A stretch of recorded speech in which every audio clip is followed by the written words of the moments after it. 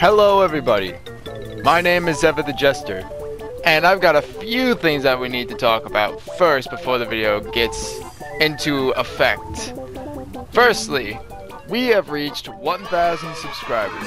I can't thank you guys enough. I have no idea how we managed to get this far, but we gotta keep going, because now we're officially on the long journey to 1K. Stupid. I mean 10K.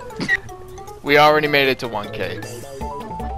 I have a room temperature IQ. Not only did we reach 1,000 subscribers on YouTube, but it is also my birthday today. I'm 20 years old. On the real note, thank you guys all so much for everything you guys have done for me. It is insane that we actually managed to get this far within a few months. So, without further ado, I'm going to be showing you six mods about horses that you probably missed on Skyrim's PS4 mod market. Let's get right into it, because I hate long intros. Off we go. Yes. The first mod is called Dark Horse Raven. This is basically going to take Shadowmere's skin and basically clone it and just make this really, really nice looking dark like horse. Unfortunately, Shadowmere is like one of the only horses that attacks people for some reason, and I don't like that. But Raven just is a nice dark horse. She, I've always preferred darker colors over lighter colors. As you can see in my armor, I just look so much more badass with this horse than any other horse in any way. So, but yeah, Raven is a nice horse. She looks dope, and she has got to be probably one of my favorite mods for horses, just because she's got a nice, simple color. A nice, simple color, and she's a nice, simple horse. Definitely a great mod. If you like darker horses, give this one a shot. The next mod is called Summon Follower Horses. What this mod is going to do is it's going to allow you to actually give your followers a horse. You can go up to this lady who will be selling all of the options for your horse. You simply go look at the sales and all of the things should be right here. I think, right? Yeah, here it is. So you can go for no saddleback reins, no saddleback black and white, you can do just about any other horse that you want, and this will only work for a person that has one follower, not multiple. So this will allow you to change the saddles, change the color of the reins, and just about anything else. I think this mod is actually pretty cool because this will literally allow you to be more immersed in your game.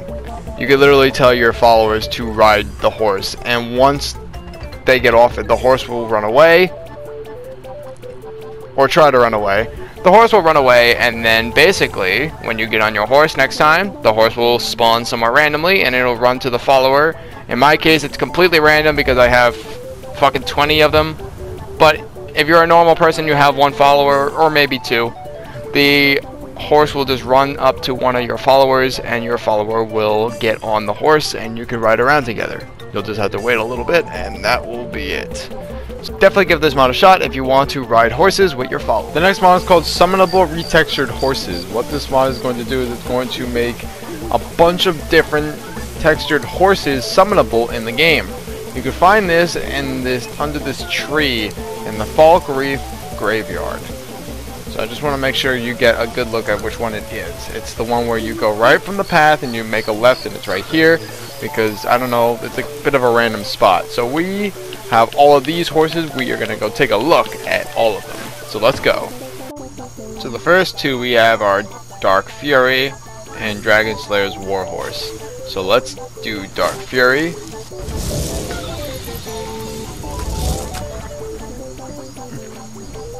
Jeez, that saddle looks really cool. These horses will stay here for 200 and I mean 2,700 seconds. I gotta be honest.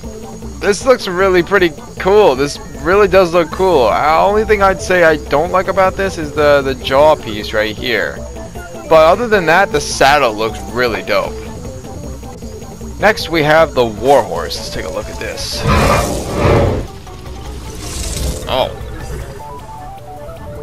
Oh, Lord Jesus. Oh, my Jesus. Well, I think that this horse would do really good for your playthrough if you're role-playing as Satan, but in all honesty, I think this horse looks menacing.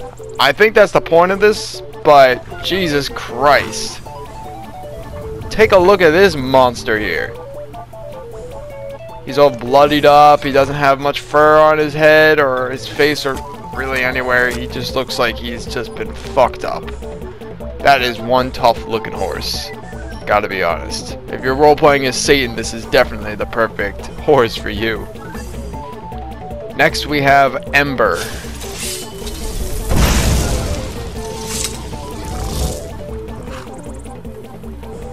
Oh, that one looks nice.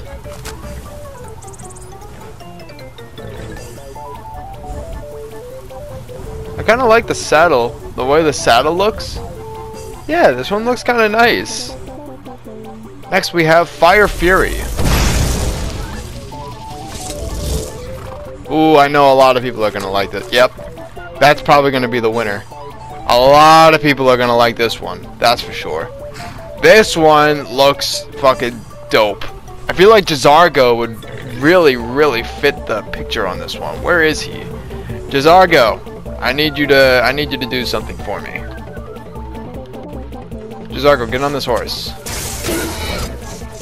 What are you doing? J'zargo, you're an idiot. I gotta be honest, so far this is the best looking horse. Not a doubt about it. This is definitely the best looking horse. The white and the orange and the blue go... What do you want? I ran into some goblins in the woods not long ago.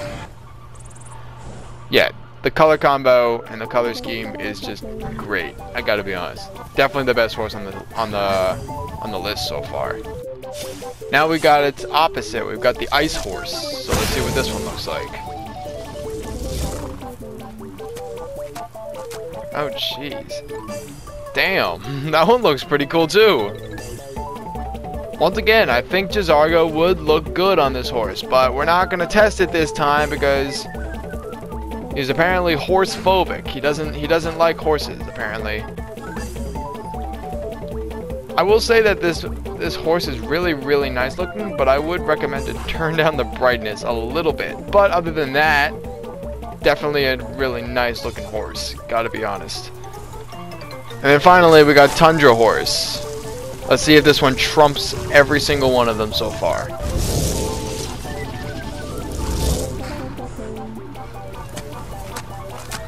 Oh, that one actually looks pretty cool. Yeah, no, I'd have to be honest. I think the Fire Horse and this one are the best. Any texture issues? No. No texture issues at all. I gotta be honest, yeah. No texture issues. So the Tundra Horse, the Ice Horse, and the Fire Horse are probably the best ones, at least in my opinion they are because they don't have that little like box like square on their jaws. But if you like the other two, then definitely give this mod a shot because this gives you so many new options and so many new horses that are completely different from the game. It's really really cool. I got to be honest. I think I like the I think I like the ice horse the best. The fire horse is cool, but I like ice more than fire cuz yeah, I always prefer cold weather to hot weather, so I like the ice horse better. But all of them look really cool, so definitely give this mod a shot. This mod is called Horses Ragdoll Humanoids. And what this mod is going to do is it's going to make it so horses will actually use their weight and they will fling people all over the place.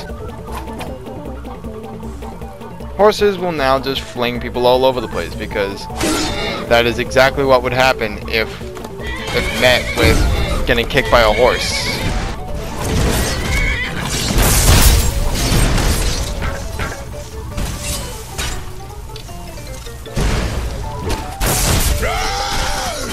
What the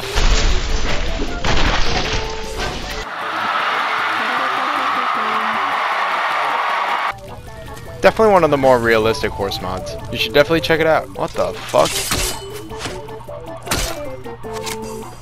The fuck? We, we're dealing with triplets here.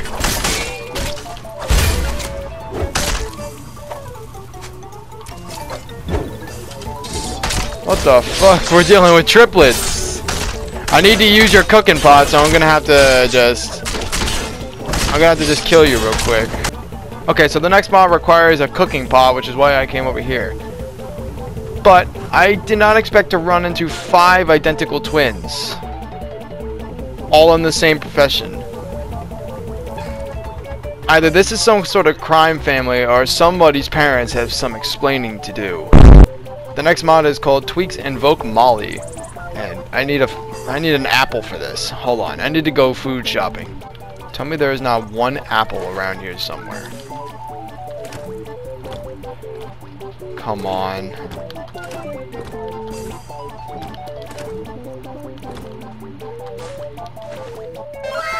Oh! There we go. One red apple. So you're just going to go to a cooking pot. and You're going to use your red apple to summon and make the spell. Yeah, you go to the books, you do that. Once you're done with that, you go to Tweaks Invoke Molly in the Conjuration section, and bada bing, bada boom. You got yourself an, imperi an Imperial looking horse. Which, actually, now that I think about it, might be General Tullius's horse from the start of the game, without the logo. This is a pretty nice looking horse, I gotta say. Oh, and she's pretty fast. She's a pretty fast looking horse. I'm just gonna run over the Sanquiplets because that's cursed. But yeah, this is a very nice looking horse. Very simple mod. It's a dud mod, so it doesn't have to have any specific place in the load order. And it's very easy to make. Very easy to make, very easy to use, and the horse will stay with you permanently, so yeah. Definitely give this mod a shot, because it's a nice looking horse. It's not a bad looking horse at all. The High King's court needs a jester. Not me. No, not Cicero. Oh, thank you very much.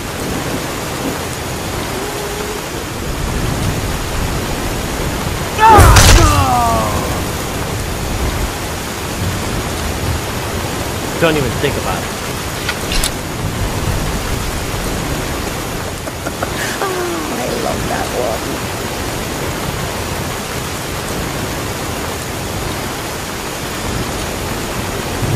But the Emperor's cousin killed. Right here in solitude. Feeling nothing but shame. There's no greater honor than to serve. You're serious about enlisting, speak to Legate Rikke in Castle Dour. All right then.